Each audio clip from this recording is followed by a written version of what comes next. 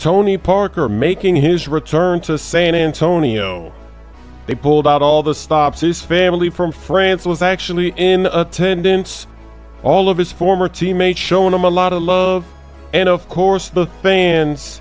They gave him a nice standing ovation. After the tribute video, he played 17 seasons. He was an NBA All Star. He won four NBA championships.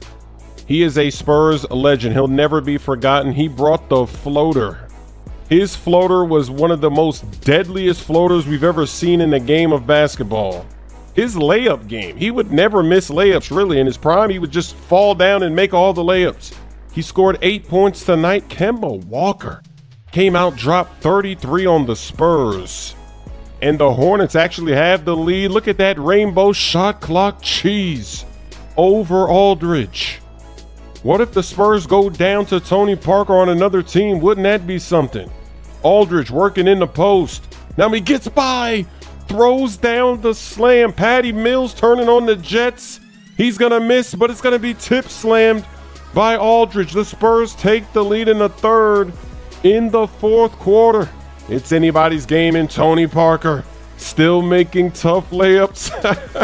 Kemba Walker down the stretch, the crossover, the hop step, Oh my goodness. Hornets are really putting on a show in the clutch. They can't stop Kemba as he knocks down another three. Spurs are in trouble. Tony's going to sub in one more time just to get the standing ovation from the crowd. The love is all in the air. Spurs fans very happy with everything he's done for the franchise. Even in defeat tonight, Spurs fans always keep it classy.